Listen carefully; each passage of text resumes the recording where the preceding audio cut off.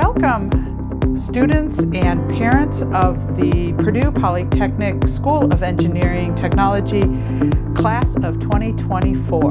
My name is Lindsay Haugland, and I am one of the academic advisors in the School of Engineering Technology. And I am really excited to be able to tell you and your family about the School of Engineering Technology here at Purdue University. I have four colleagues who um, together make up the uh, School of Engineering Technology advising team.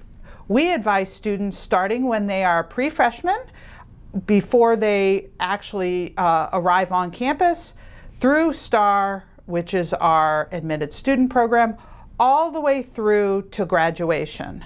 So it is a very exciting time, not just for admitted students, but for me, Tammy Lynch, Tamara Grohl, Susan Hawkins, and Cassie Pendleton, as we think about the students who will become our advisees for the next four years.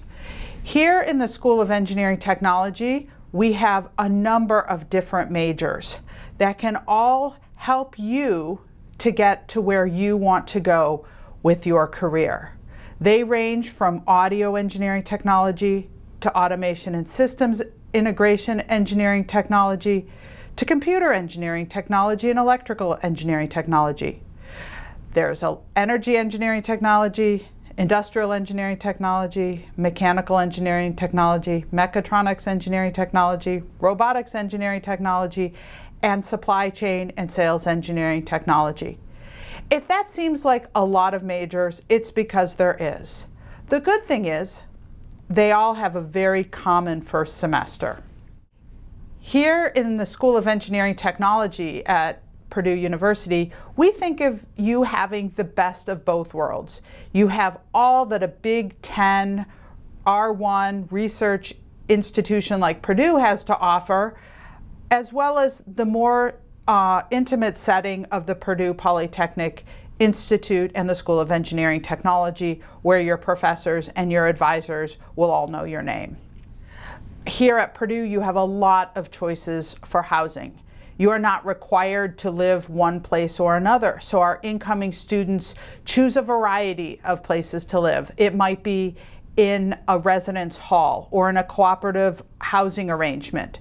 It might be joining uh, Greek life and living in a fraternity or a sorority.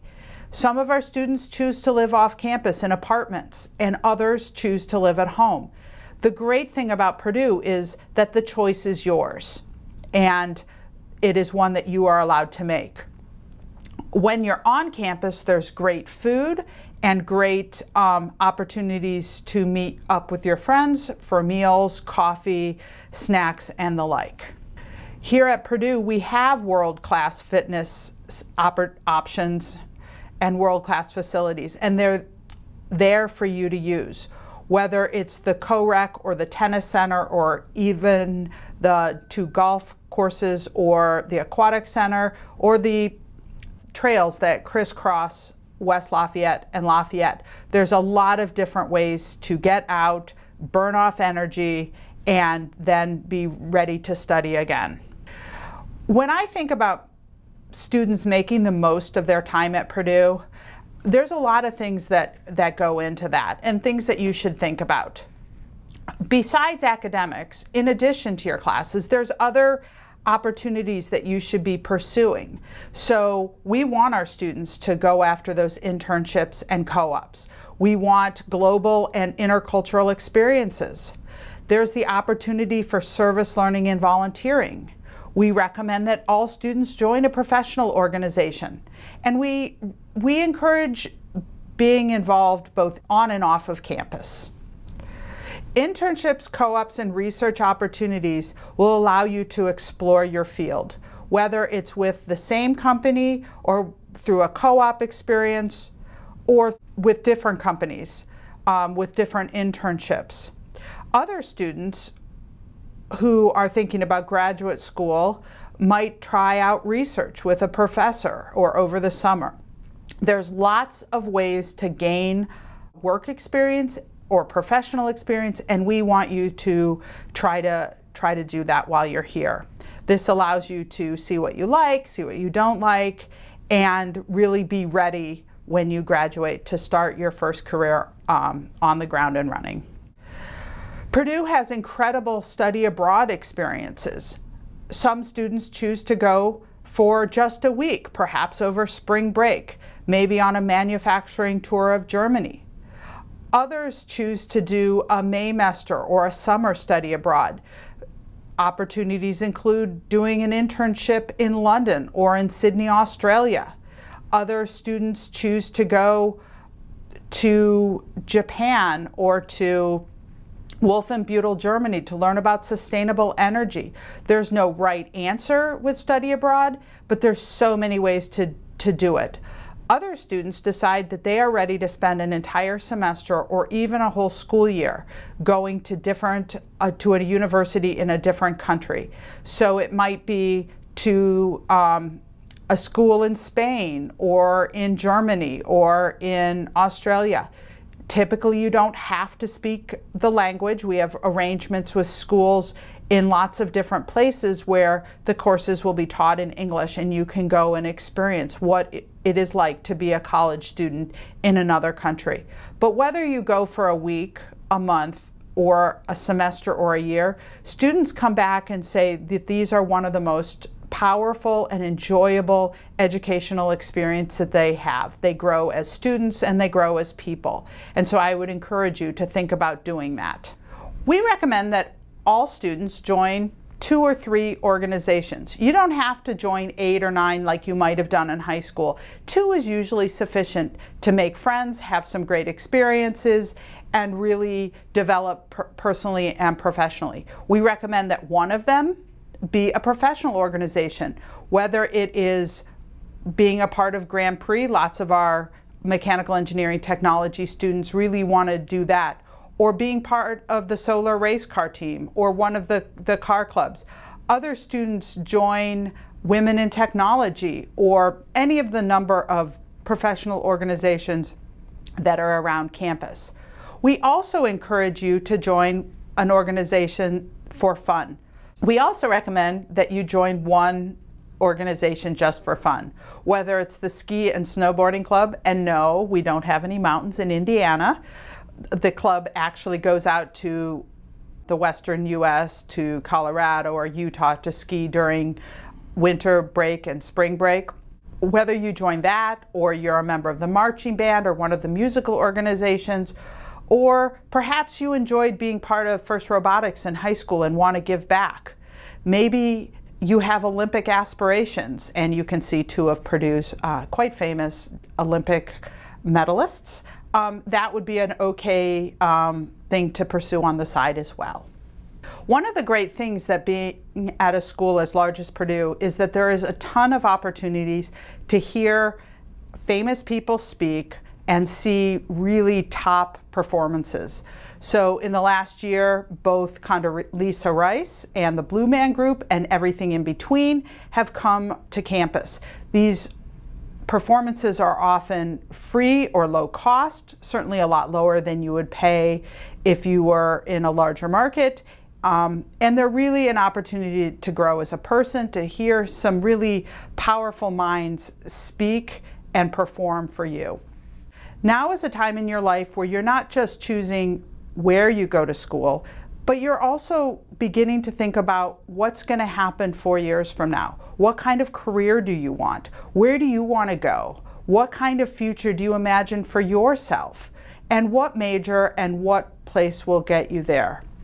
Whether you are interested in the communication industry or trains, planes, and automobiles, or if you really think you want to go into something healthcare related, majors in the School of Engineering Technology can get you there.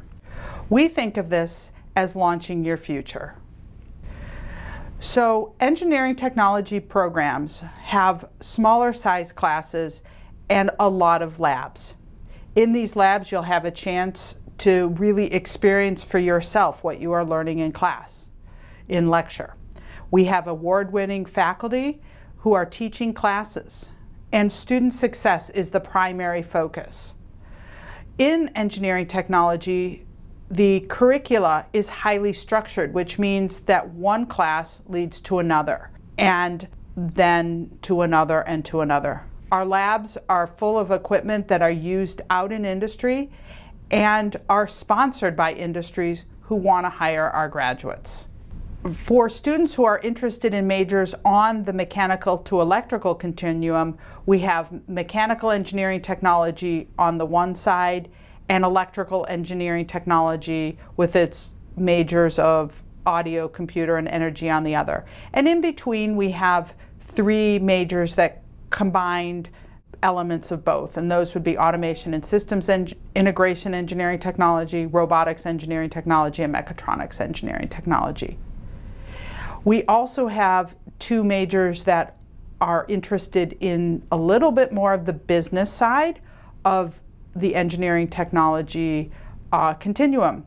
In industrial engineering technology, students design solutions to improve processes and products and services and systems. They become project managers and operations managers. They learn about lean and sustainable systems. So if you think about the flow of goods and services and people, they have to be managed and managed efficiently. You'll learn about Lean Six Sigma and economic and risk analysis and how to manage facilities. On the supply chain and sales engineering technology, you might be someone who can sell something to anyone and want to go into industrial sales.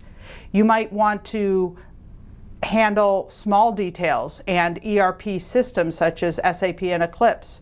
You might be interested in auto identification and data capture technology. These are majors that are really good for people who want to combine both the technical and the economic side of things. Starting salaries. We're very proud of our starting salaries. These are all self-reported and they come from our students as they graduate. Um, for May 2018 graduates, which are the last data that we have, the average starting salary for all electrical, industrial, and mechanical majors was above 60,000, with the highest being WET at 63,000 all of these are very respectable incomes and will vary depending on whether you choose a large company, a small company, or whether you're on one of the coasts or in a small town. We have very good placement rate. For all of our students, it is above 85% and has been for the past 10 years. In May of 2018, we had a placement rate self-reported of 96%. This means that our students are finding jobs and going places, and we want you to be one of them. There is a large overlap between engineering and engineering technology. In fact, most of our students will be placed as engineers as they head into the work world. As you can see, the most common starting job titles all include one word, and that word is engineer. So the degree is engineering technology, but the career is engineering. I'm going to spend a few minutes talking about the transition to Purdue. In high school, most of the knowledge was presented in class. In fact, probably 80% of the knowledge was presented by the teacher. Here at Purdue and at other institutions, that number drops to 20%. Most of the learning will go on outside of class as you do pre-labs and post-labs and problem sets and really learn the material yourself. Only 8, 20% of the material will be covered in class. The advisors in the School of Engineering Technology got together and came up with what we consider the secrets to success. In other words, how can you be successful once you transition to Purdue? First and foremost, go to class. Second, turn in every assignment on time, and manage your time wisely. Read your Purdue email each and every day because professors, advisors, and the university will be sending you lots of information that's really important to your Purdue email address.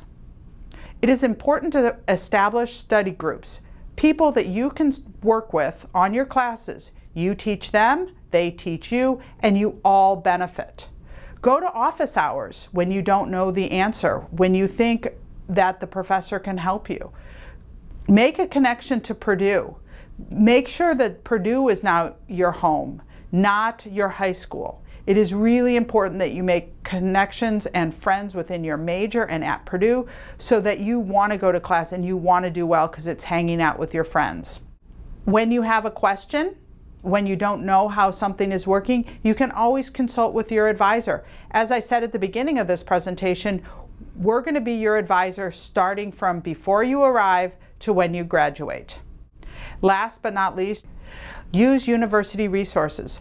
Most of them are free, and we're going to always direct you to free resources first that allow you to be successful. Some of the free academic resources are Best Academic Support, the Physics Help Room, the Math Help Room, the Chemistry Help Room. There's lots of places on campus that offer free support. We want you to use those first. So if you have decided that you are ready to accept your offer to become a member of the class of 2024, what do you do? First, accept your offer. The deadline is June 1st, extended just for 2020. If you know you want to come, just go ahead and accept early. Next, your $400 deposit is due at the time of accepting your offer. Once you have paid your deposit, you can register for STAR, which is the Summer Transition Advising and Registration Program that we put on every summer.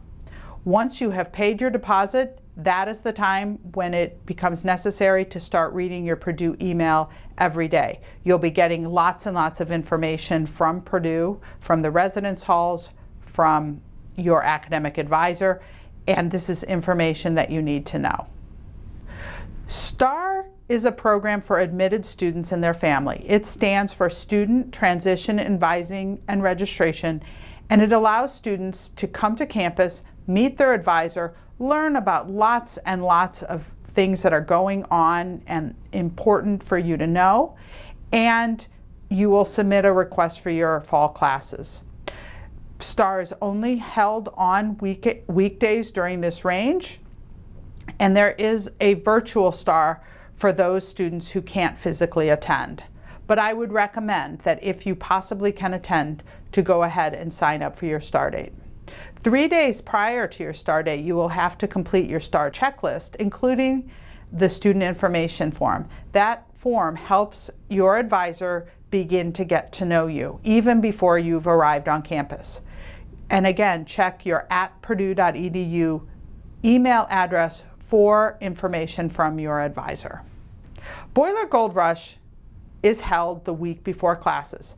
This will allow you to come to campus, make a lot of new friends, learn where all your buildings are and your classrooms, and begin to really learn about Purdue traditions. You'll learn about university resources and the layout of the campus, and so when classes start, you feel comfortable and confident. There are alternate orientation programs for students who are involved in band, marching band, Purdue Athletics, and ROTC, but most students will be attending Boiler Gold Rush. Here are some links that will help you with your next step in becoming a Purdue Boilermaker.